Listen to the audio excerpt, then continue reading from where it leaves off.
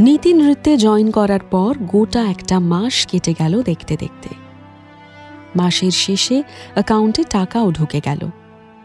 একসঙ্গে ষোলো জন মতো জয়েন করেছিল। তাদের মধ্যে জনা পাঁচেক ছেড়ে দিল। কিন্তু এ গল্প তাদের নয়। রূপকথার সঙ্গে তাদের পরিচয় বা ঘনিষ্ঠতা বিশেষ ছিল না, তাই তাদের কথা বলবও না। কিন্তু আশ্চর্যের ব্যাপার আর একজনের খোঁজ পাওয়া গেল না। রাহুল। রাহুল গোস্বামী। বাসে বসার জায়গা পায়নি বলে পরের বাসের জন্য অপেক্ষা করছিল যে ছেলেটা। প্রথম দিনের ট্রেনিংয়ে দেরি করে এসেছিল যে মূর্তিমান। সূর্য যার থেকে দু মিনিট চেয়ে নিয়েছিল। আর রূপকথা যাকে উজাড় করে দিয়েছিল নিজের সর্বস্ব। একদিন সে আর এলো না। ট্রেনে উঠে ফোন করেছিল রূপকথা। ফোন বেজে বেজে কেটে গেল। ট্রেনে উঠে পড়বে ভেবেছিল, হাওড়ায় নেমে নিশ্চয়ই দেখা হবে। হাওড়ায় নেমে দাঁড়িয়েও ছিল রূপকথা। ফোনও করেছিল আবার, অনেকবার। কোনো উত্তর আসেনি। বেজে বেজে কেটে গেছিল আবারও। ফুলবাগানের বাসে উঠে চলে এসেছিল নীতি নৃত্যে। ফিরেও গেছিল বাড়ি। মাঝে যতবারই সুযোগ পেয়েছিল, ফোনে ধরার চেষ্টা করেছিল। এছাড়া হোয়াটসঅ্যাপ টেক্সট মেসেজ তো আছেই। কোনোটারই উত্তর পায়নি। ওর ভীষণ অস্থির লাগছিল। বুঝতে পারছিল না কি এমন হলো।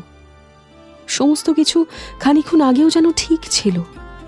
নদী তীরে গড়ে ওঠা একটা সভ্যতা।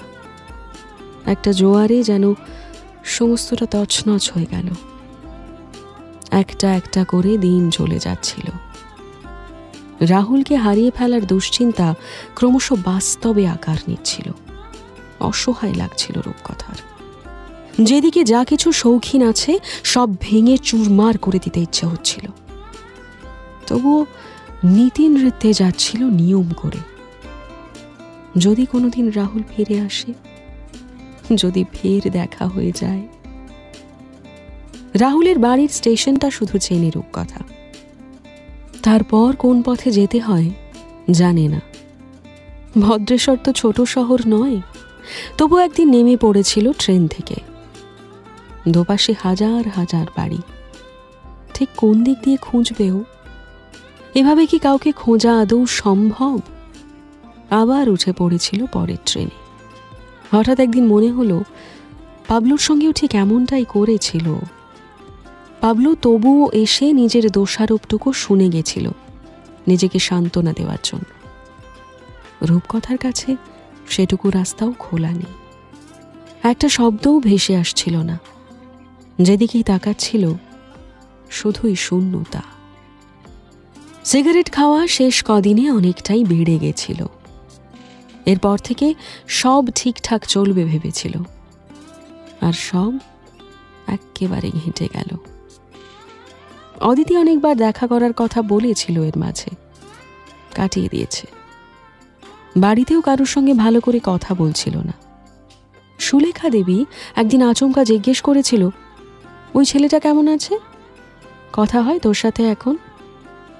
রূপকথা ঘুরিয়ে জিজ্ঞেস করেছিল, কোন ছেলেটার কথা বলছো? সুলেখা দেবী খানিক্ষণ ভেবে নিয়ে বলেছিল, আরে, তোর জ্বরের সময় যে আমাদের বাড়িতে এসেছিল, কি যেন নাম? রাহুল না রাতুল? ভারী মিষ্টি দেখতে। রূপকথার মাথায় আগুন জ্বলছিল এসব শুনে। মাকেই চার পাঁচটা কথা শুনিয়ে দিল। বলল, তোমার যখন এতই জানার ইচ্ছে, যাও না। ওর বাড়ি গিয়ে খোঁজ নিয়ে এসো। আমার মাথা খাচ্ছ কেন? মেয়ের এমন ব্যবহারে চুপ করে যায় সুলেখা দেবী। সঞ্জীববাবুর কাছে গিয়ে বলে, কিছু একটা হয়েছে বুঝলে? ভাবগতিক সুবিধের দেখছি না। সঞ্জীববাবু ব্যাপারটা হালকাভাবেই নেয়। হাসতে হাসতে বলে তোমার মেয়ের একটা বিয়ে দিতে হবে এবার। কে বুঝলে?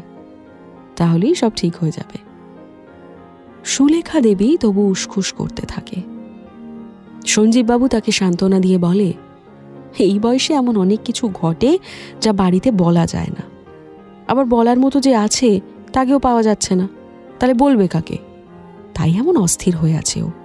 দাঁড়াও কিছুটা সময় যাক, সব ঠিক হয়ে যাবে। ঠিক কি হতো আর কি যে হতো, তা বোধহয় ঈশ্বরও জানতেন না। তবে ঝামেলা পাকাতে তো তিনি ওস্তাদ। ইতিমধ্যে পাবলোর দুঃখে ওর পাশে দাঁড়িয়েছিল ঋত্বিকা। সেই যে ঋত্বিকা পাবলোর পাশে দাঁড়িয়ে চিকেন বানাতে সাহায্য করছিল, পাবলোকে সে তার ভালোবাসার কথাও বলেছিল। কিন্তু পাবলো আপাতত ন্যাড়া এবং যেহেতু একবার বেলতলায় গিয়ে মাথা ফাটিয়ে এসেছিল, তাই সেখানে আর যাবে না। ঋত্বিকার সে অজুহাত পছন্দ হয়নি, তাই সে এখনও হাল ছাড়েনি। ইঁটেল মাটির মতো পাবলোর গায়ে লেগেই আছে। পাবলোর এমনিই একা লাগে বন্ধু বান্ধবও তেমন নেই। ঋত্বিকার সাথে থাকলে দুটো কথা বলাও যায়, তাই ঋত্বিকাকেও কিছু আর বলে না। বন্ধু হিসেবে দিব্যি আছে দুজন একসাথে। কিন্তু মোল্লার রাস্তা মসজিদ অবধি। ওই একই রাস্তা দিয়ে একদিন যাচ্ছিল পাবলো। তার সঙ্গে হাত নেড়ে নেড়ে হাজার গল্প করছিল ঋত্বিকাও। গল্প করতে করতে একেবারে হেসে গড়িয়ে পড়ছিল। আর উল্টো দিকের ফুটপাত দিয়ে উদাস হয়ে ফিরছিল রূপকথা। উল্টো দিকের ফুটপাথে তো কত মানুষই হেঁটে যায়। সবাইকে কি আর চোখে পড়ে? দশখানা দিক আছে। কোনো এক মুহূর্তে তার মধ্যে যে কোনো একদিকে রূপকথার চোখ গেলেই হতো। কিন্তু তাহলে ঈশ্বরের মজায় তো ঘাটতি হয়ে যাবে। তাই ঠিক সেই সময়ে রূপকথার চোখে পড়ল পাবলো আর ঋত্বিকাকে। আর হিসেব করে দুয়ে দুয়ে চার করে ফেলল রূপকথা। হিসেবের শেষে গিয়ে দাঁড়াল অদিতি প্রেম করছে জাকিরের সাথে, পাবলো প্রেম করছে ঋত্বিকার সাথে। রাহুল গঞ্জুলোয় কেউ জানে না। আর রূপকথা? এই রোদের মধ্যে যাতায়াত করে জীবনের পাপ খণ্ডাচ্ছে। মাথায় একেবারে আগুন ছুটে গেল রূপকথার। তখনই বাড়ি ফিরে গেল। তারপর প্রায় এক সপ্তাহ কেটে গেল নীতি নৃত্যের চৌহদ্দি মারালো না। হঠাৎ একদিন একটা অচেনা নাম্বার থেকে ফোন এলো রূপকথার কাছে। হ্যালো, আমি কি রূপকথা দস্তিদারের সঙ্গে কথা বলছি? হ্যাঁ বলছেন, কিন্তু আপনাকে তো ঠিক চিনতে পারলেন না, তাই তো? হ্যাঁ মানে সত্যি বুঝতে পারছি না। আপনি দেবদত্ত কোলে নামে কাউকে চেনেন? হ্যাঁ চিনি। আপনি? অধম দেবদত্ত কোলে। সরি সরি, আমি না একদম আরে, ঠিক আছে। সামনে কথা বলে যাওয়া অনেকেই নাকি ফোনে আমায় চিনতে পারে না। হ্যাঁ মানে গলাটা, তোমার শরীর কেমন আছে? ভালো ইয়ে মানে ভালোই আছে। ঠিক আছে, আজ বিকেলে একবার অফিসে এসে দেখা করো, কথা আছে। প্লিজ না করবে না। যাওয়ার বিন্দু মাত্র ইচ্ছে ছিল না রূপকথার। কিন্তু দেবদত্তবাবু এমনভাবে ফোন করল, কিছুতেই না করতে পারল না। শেষমেশ দুপুরে খাওয়া দাওয়া সেরে বেরিয়ে পড়ল রূপকথা। সেই এক রুট বিরক্তিকর লাগছিল ওর। ট্রেন হেলতে দুলতে গিয়ে হাওড়ায় থামল। একটা ভিড় ঠেলে বাস পর্যন্ত। তারপর ফুলবাগান।